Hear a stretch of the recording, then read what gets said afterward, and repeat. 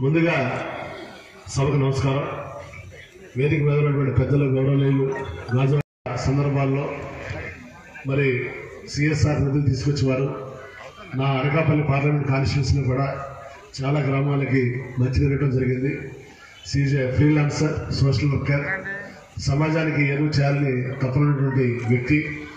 ఇప్పుడు అడిగాను మ్యారేజ్ ఎప్పుడమ్మా? అంటే లేదంకుల్ ఐఎమ్ వెరీ హ్యాపీ కంఫర్టబుల్ మరి మమ్మీ అని చెప్పాను అంటే అంత కమిట్మెంట్ ఉన్నటువంటి వ్యక్తి సమాజం పట్ల. మరి అలాగే ఎప్పుడు ట్రస్ట్ బోర్డ్ మెంబర్స్ అందరికీ పాత్రిక మిత్రులకి అందరికీ కూడా పేరు పేరు హృదయపూర్వక నమస్కారం ఇది దేవాలయం ఎంత రాజకీయాలు మారడం వద్దనుకున్నా కూడా ప్రతిపక్ష నాయకులు మమ్మల్ని రోజు ముళ్ళుతో పొడిచి ఏదో ఒకటి మాట్లాడేట్టు చేస్తున్నారు. ఏ పని చేద్దామన్నా కూడా రాజకీయం. విశాఖపట్నం ఆల్రెడీ అభివృద్ధి చెందిన నగరం. ఇక్కడ అయితే ఖర్చు తక్కువ అవుతుంది. తక్కువ ఖర్చుతో రాజధాని నిర్మించవచ్చు. ఎగ్జిక్యూటివ్ క్యాపిటల్ పెడదామంటే సముద్రం ఉంది తుఫాన్ వస్తే కుట్టుకెళ్ళిపోతుంది నాకు న్యాయవాళ్ళు ఎత్తిపోతారు. అలాగే దేశంలో మనందరం ఎవరికి పుట్టామండి? ఒక ఆడదానికి పుట్టాం కదా. అంటే చాలామంది చెప్తారు స్త్రీలు ఎక్కడ గౌరవపడతారో దేవతలు అక్కడ ఉంటారని. కానీ దాన్ని తూచా తప్పకుండా అమలు చేసిన ఏకైక ముఖ్యమంత్రి దేశంలో ఎవరు ఉన్నారంటే ఒక వైఎస్ జగన్మోహన్ రెడ్డి క్యాబినెట్లో కూడా. ఏంటన్నా ఇది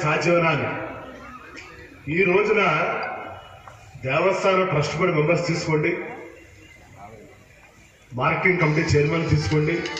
కార్పొరేషన్ చైర్మన్ కాదా ఎక్కడోదండి ఎక్కడ పోతారు మనం ఈ ట్వంటీ ఫస్ట్ సెంచరీలో ఒక స్త్రీ చంద్రబాబులోకి వెళ్ళింది. ఒక స్త్రీ మరి మొన్నటిదాకా ఇందిరాని పెప్సికో సీఈఓ ప్రపంచంలో హైయెస్ట్ శాలరీ డ్రా చేసిన సీఈఓ ఒక స్త్రీ.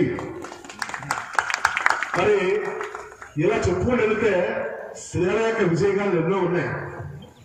స్త్రీలు తక్కువ పురుషులు ఎక్కువ అనే ఆ రోజులు పోయింది ఈ రోజున స్త్రీ అయినా పురుషుడైనా ఎవరైనా సరే వారి ప్రతిభ ఆధారంగా ప్రయత్నిస్తారు తప్ప నుంచి.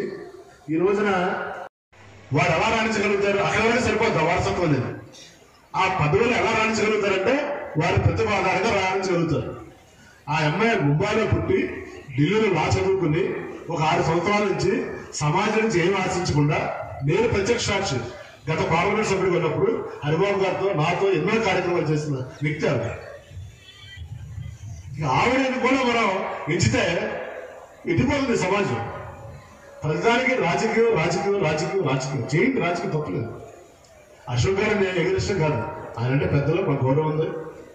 నేను అశోక్ గారన్నా పీజీవి రాజు గారన్నా అన్నగీత గారన్నా అందరన్నా కూడా మేము గౌరవిస్తాం కానీ ఒక స్త్రీగా ముందుకు వచ్చినప్పుడు ఆ కుటుంబం నుంచి మనందరం కూడా ప్రోత్సహించి అభినందించాల్సిన బాధ్యత ఉందని మనందరం కూడా తెలియజేస్తున్నాం